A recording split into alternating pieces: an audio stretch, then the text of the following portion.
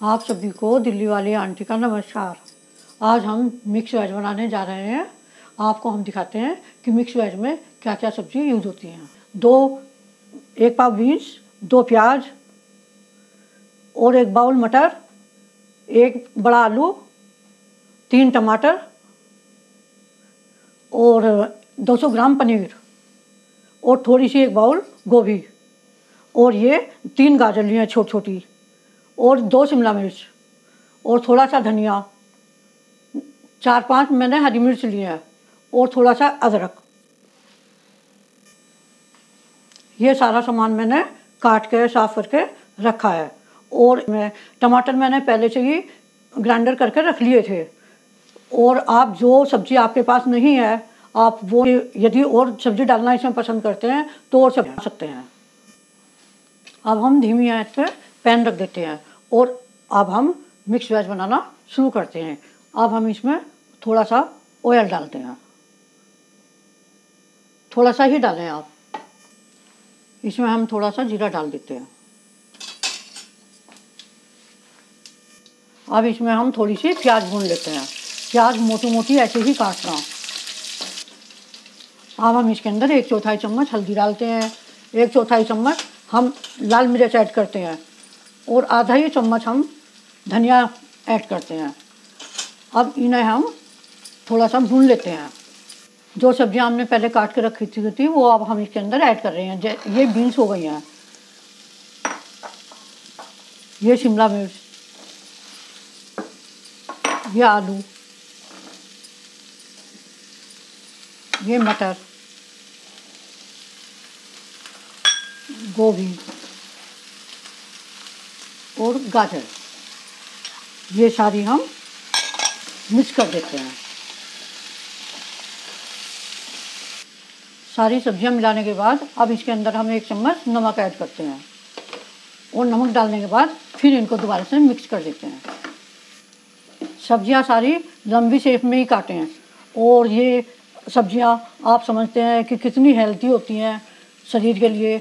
इसमें सब विटामिन मिल जाते हैं, क्योंकि वैसे तो हम खा नहीं पाते हैं सब्ज़ियाँ, आलू आलू खाते हैं, आलू, दाल, लेकिन इसमें हरी सब्ज़ियाँ भी होती हैं, सारी सब्ज़ियाँ ही होती हैं तो इसलिए इनसे हमारे शरीर को विटामिन मिलते हैं।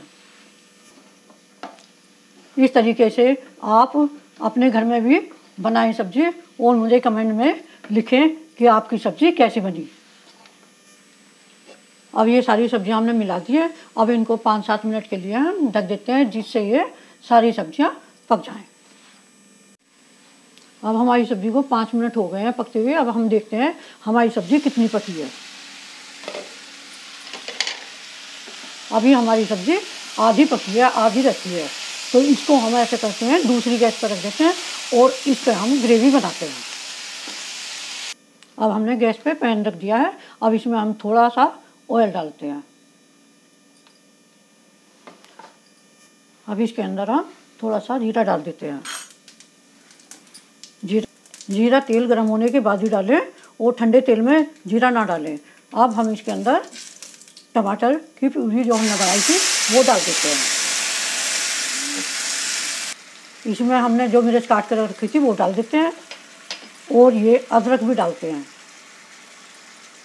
दोनों इसे आप जीरे के साथ भी भून सकते हैं, अदरक और मिर्च को। इसके अंदर हम थोड़े मसाले ऐड करते हैं। एक चौथाई चम्मच नमक, पिसा धनिया, आधा चम्मच हल्दी और आधा चम्मच मिर्च और आधा चम्मच गरम मसाला और एक चौथाई चम्मच अमचूर पाउडर। तो ये हमने सारे मसाले डाल दिए हैं। इनको भी हम टमाटर के साथ भून लेते हैं। हमने मसाले ग्रेवी में इसलिए कम डाले हैं क्योंकि हम सब्ज़ी में भी पहले ऐड कर चुके थे मसाले। अब हम अपनी सब्ज़ियाँ देखते हैं कि हमारी सब्ज़ियाँ पक गई हैं। तो अब हम इसके अंदर ये पनीर जो हमने काटा हुआ रखा हुआ था, ये हम इसके अंदर ऐड कर देते हैं। हमने पहले पनीर इसलिए नहीं डाला था क्योंकि वो सब्ज़ी के साथ घुल जाता अलग अलग नहीं चमकता। मैं बिल्कुल सिंपल तरीके से आपको सब्ज़ी बनाना बता रही हूँ। यदि आपको मेरी वीडियो पसंद आए तो लाइक और शेयर करना। बिल्कुल स्वाद आपको होटल के जैसा मिलेगा। ये ग्रेवी हमारी पक चुकी है। अब ये ग्रेवी हम इसके अंदर ऐड कर देते हैं। ग्रेवी डालने के बाद हम इसको आराम आराम से मिक्स कर लेते हैं। आराम से ही मिक्स करें, क्योंकि ये सब्ज़ी टूट जाएँगी नहीं तो। आप एक बार इस तरह से बनाएँगे तो आपको खुद अच्छा लगेगा। अब हमने ये सब्ज़ी मिक्स कर दी है। अब इसको दो मिनट के लिए हम ढक देते हैं, क्योंकि मसालों का और सब्जियों का टेस्ट पनीर के अंदर भी आ जाए। अब हम देखते हैं कि हमारी सब्ज़ी तैयार है।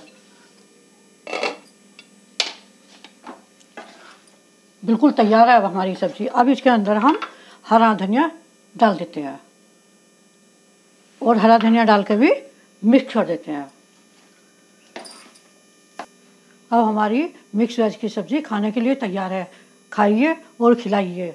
यदि आपको मेरी वीडियो पसंद आई हो तो मेरे चैनल को ज्वाइन कीजिए। धन्यवाद। आगे मिलते हैं किसी नई चीज़ के साथ।